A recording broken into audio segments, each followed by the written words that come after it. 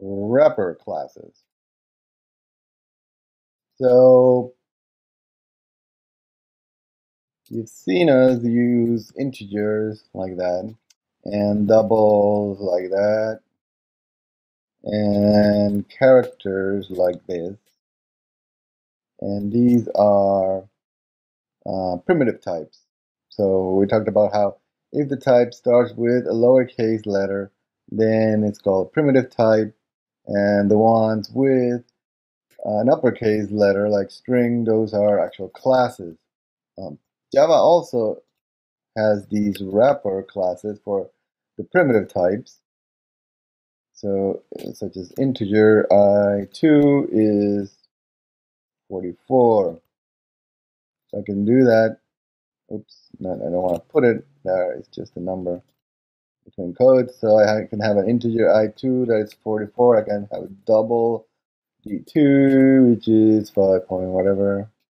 And I can have a character C2, which is the letter A, capital A, uh, capital A.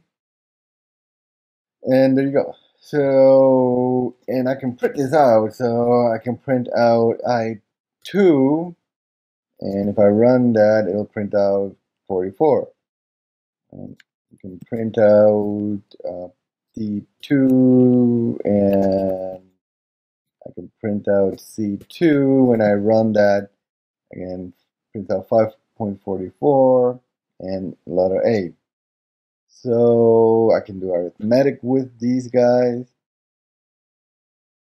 I can say something like, you know, integer x is uh, i plus i2, print out x, run, and 49 is the answer.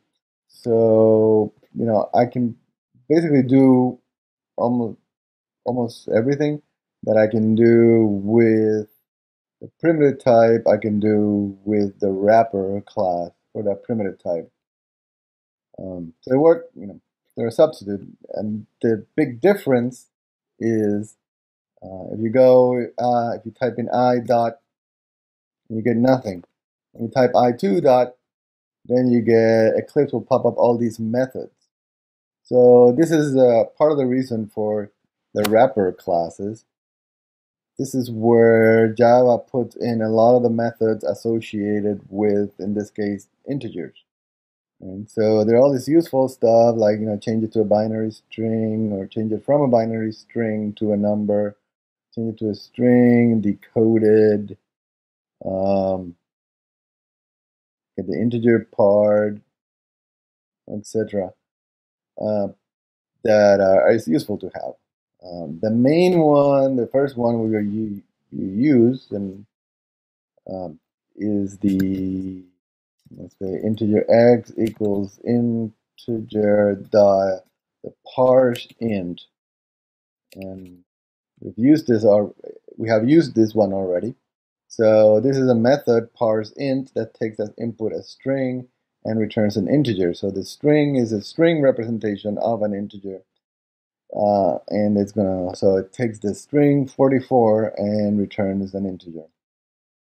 So I can run that and I'll print out 44, just fine. And that's very useful when you're reading information from the user or from a file. Many times you read something from a file, you have to read it as a string. Um, so then you want to change it back to an integer. Also, sometimes you want to read numbers as a string, do some string manipulation on the string, and you know, like get rid of uh, any extra characters at the beginning and at the end. Uh, get rid of a dollar sign at the beginning, that kind of stuff, and then put that into an integer or a double. So similarly, integer has parse int, uh, double has uh,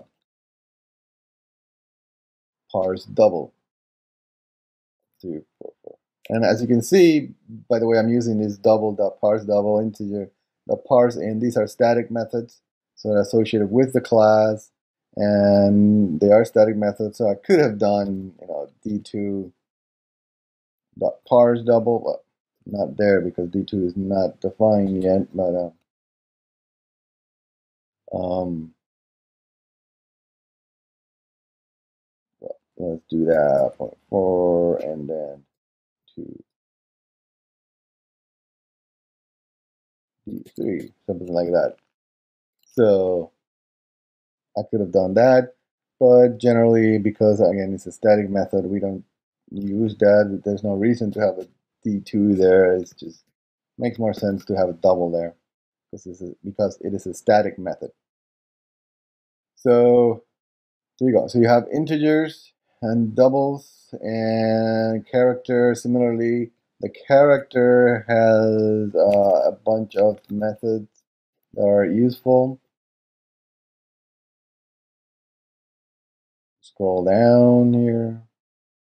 Uh, there are a lot of them. Get the numeric values of a character. Uh, stuff to do with the encoding. Is space is very nice because uh, the space this is not literally a space. Uh, the specified character is a white space. There's, as you can see, a tab or a new line or a form feed or a carriage return or an actual space can be a space. Very useful stuff when you're reading from a file and you have a bunch of numbers that are separated by white space. By white space, we mean, you know, any one of these guys here. They look the same to the civilians, but those of us who have to read files know better.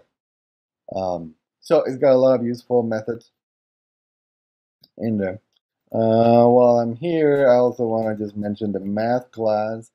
Uh, there is also uh, a, kind of a wrapper class, if you will, but it's the math class. And if you type math dot, it'll give you all these uh, static methods that do math stuff like calculating the maximum number, calculating the remainder using the IEEE methods, the sines and cosines, uh, and uh, very importantly, the random number generator. Um, so that one will return just a random number between 0 and 1 every time you run it, uh, which is very useful when you're making games and stuff like that. So 0.125, 0. Every time you run it, it's going to be different.